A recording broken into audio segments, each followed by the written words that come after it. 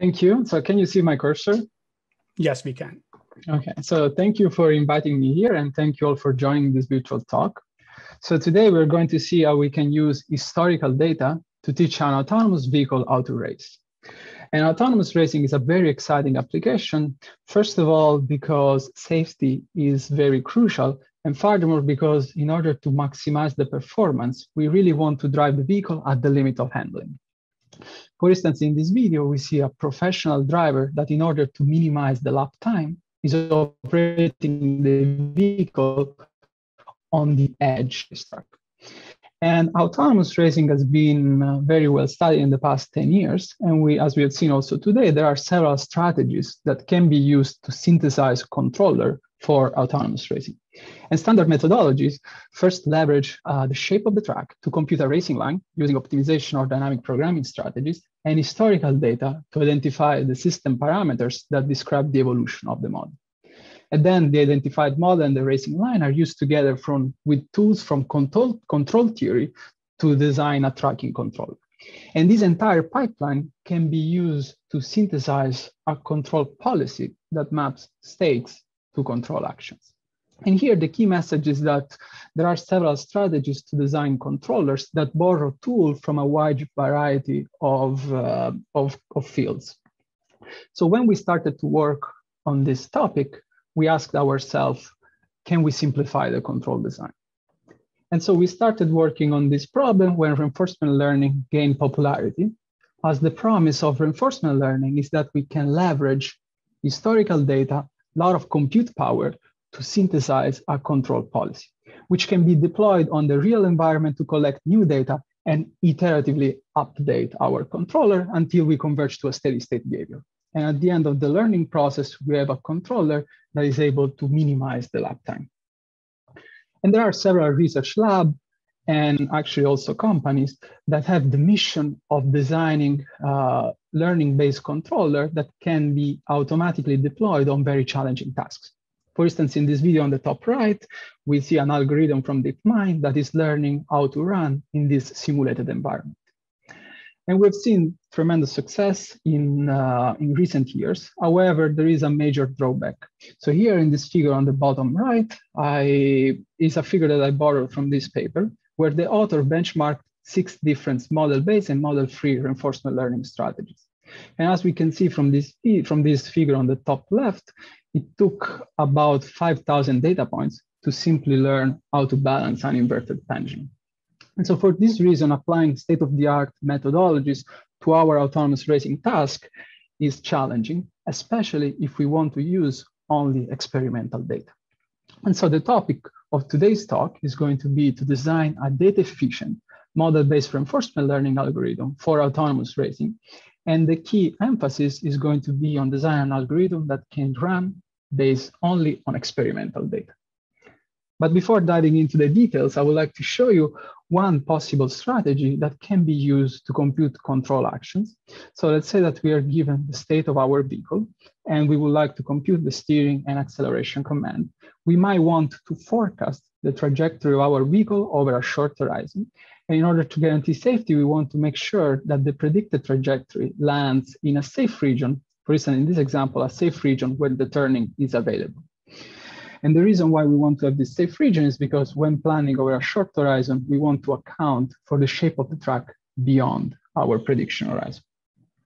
And for the same reason, when planning our trajectory, we would like to decide our strategy based on the future uh, of the track shape. And for this reason, we often design a terminal cost that tells us what's the predicted cost beyond our prediction horizon.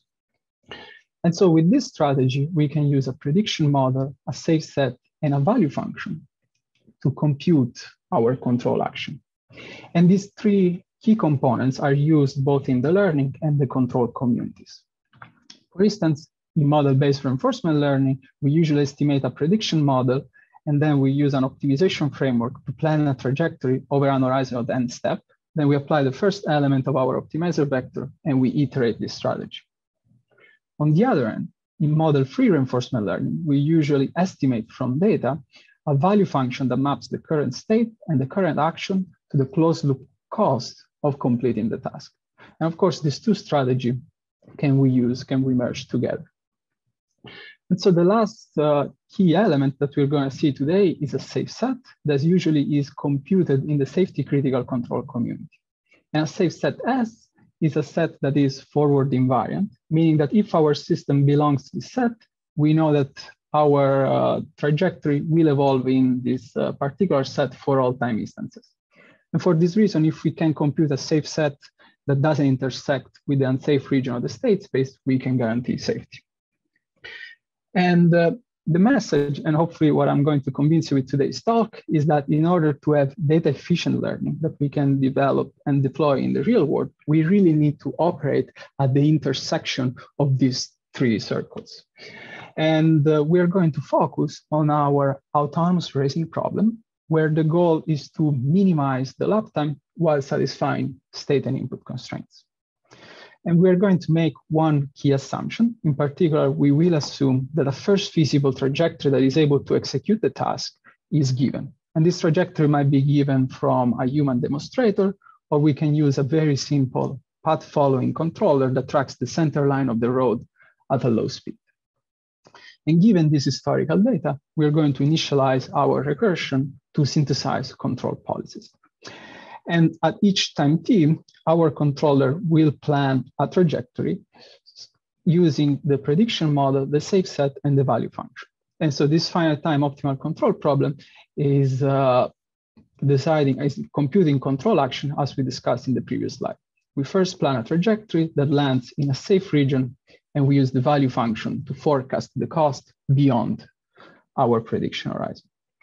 So now let's see how we can use historical data to estimate the safe set, in particular, how we can estimate the safe set around a point X. So in this figure, we assume that we are given some successful trajectories that are able to complete the task. And our goal is to estimate the safe set in a neighborhood of this state here depicted in orange. And so in order to estimate the safe set, we're going to compute, we are going to compute the k nearest neighbor to this particular point, and then we're going to define the local convex safe set as the convex hull of the k nearest neighbor. And here the idea is that if we are in a state that we have visited before and our trajectory is successful, probably that's a safe region of the state space because we have visited that part and we were able to perform a successful trajectory. And again, the safe region is computed around the state x, which is a function of the previous optimal trajectory. So now let's see how we can estimate the value function, which is defined over this terminal constraint set. Again, we're going to use our historical data. And in particular here, our goal is to compute a value of the cost for each data point in this set of k-nearest neighbor.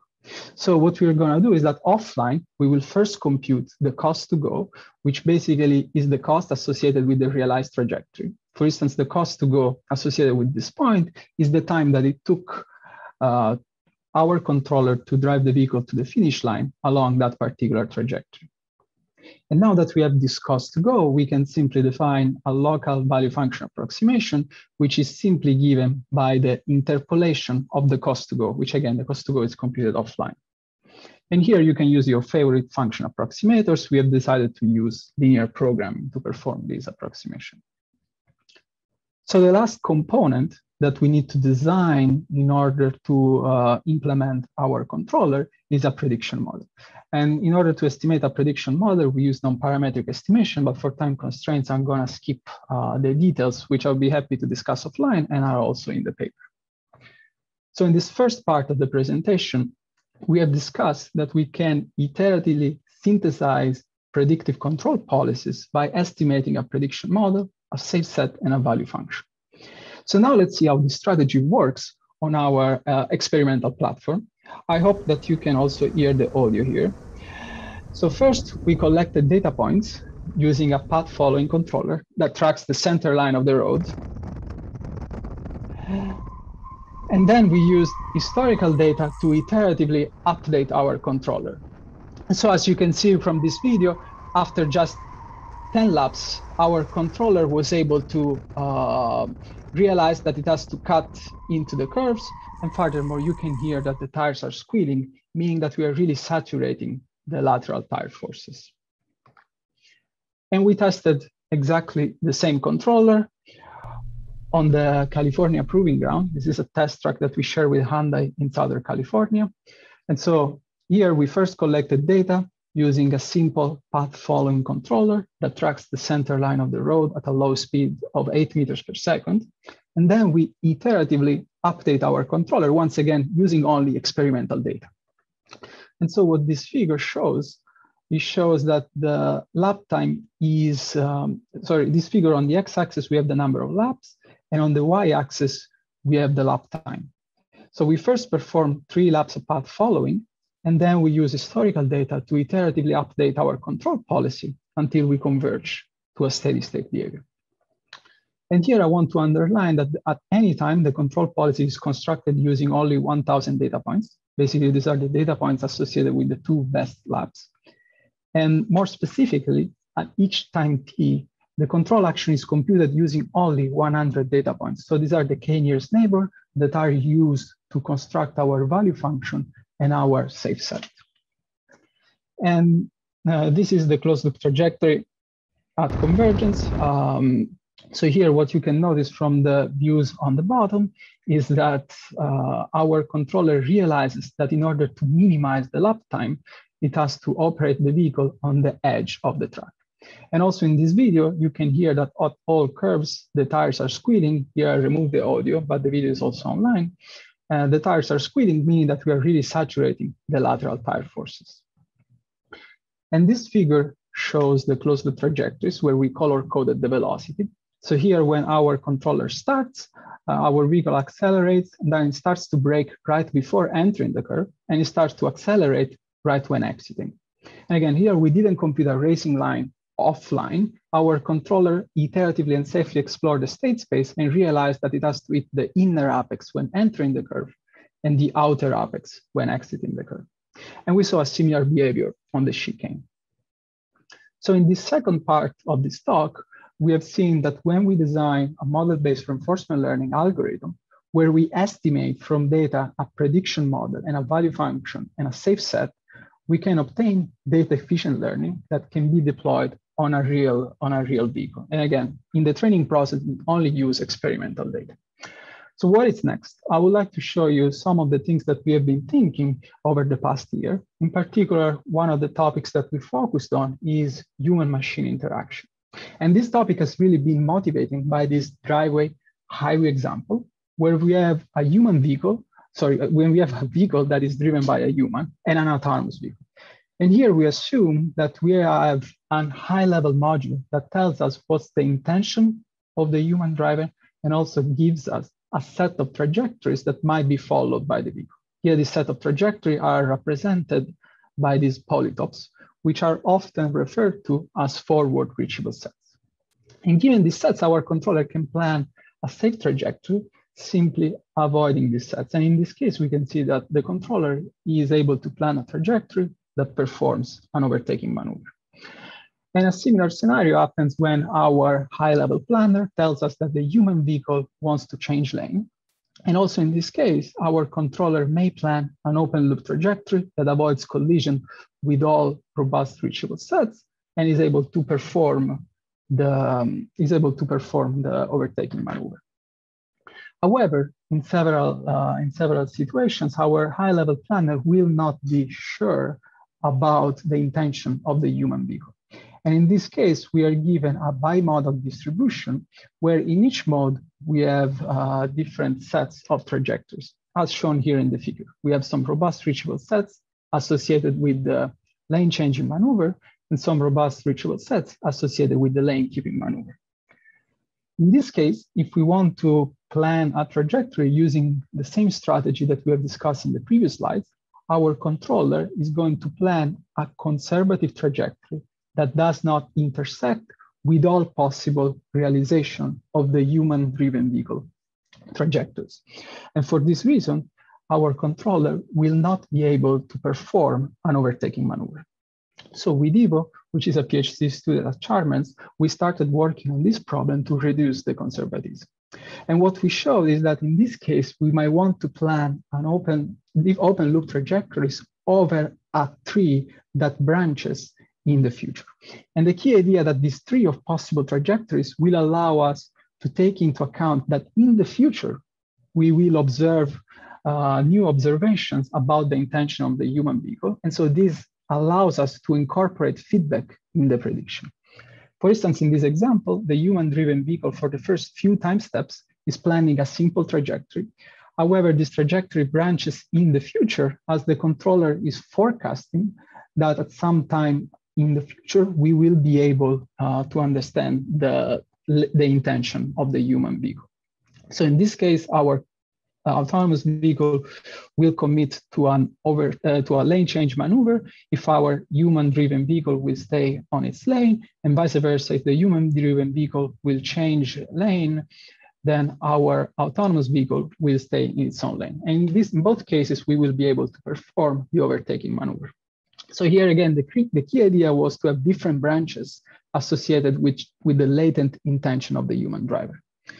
And this work was heavily based on a paper from the 90s from the group of Professor Mayne, when the author showed that optimizing over a tree of trajectory is actually um, the same to optimizing over feedback policies.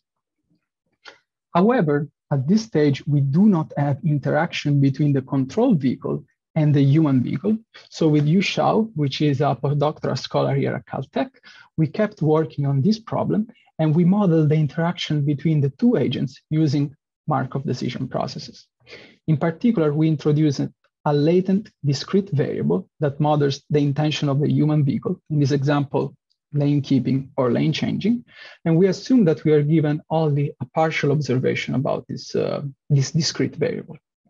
On the other end, we assume that the state of the control vehicle, the autonomous vehicle, is observable and continuous. So this observation allowed us to formulate a mixed continuous, mixed observable Markov decision process that actually can be reformulated as a deterministic and finite dimensional optimization problem, building on these three ideas. And if you are interested, I would be happy to chat about it um, offline. So finally, I would like to um, show you uh, what's the difference between optimizing over one single trajectory and optimizing over our tree, which leads to a closed loop, uh, uh, optimization over closed loop policies. So what we see in this video, in this video on the top, we have two vehicles. The red one is our autonomous car, and the blue one is the human-driven vehicle. And here we have different trajectories, which are given by how our eye-level prediction model. And as you can see in this animation, our autonomous car is planning a trajectory that avoids collision with all possible branches uh, that are given by our um, high level predicted, uh, by high, our high level module. And for this reason, we are not able to perform an overtaking maneuver. On the other end, when we optimize over these trio trajectories, our controller is able to negotiate and influence the human driven vehicle and successfully complete the overtaking maneuver. So with this, uh, I computed my presentation. I see that I went a little bit faster than what I expected, and I would like to thank you for your attention. I will be happy to take any questions.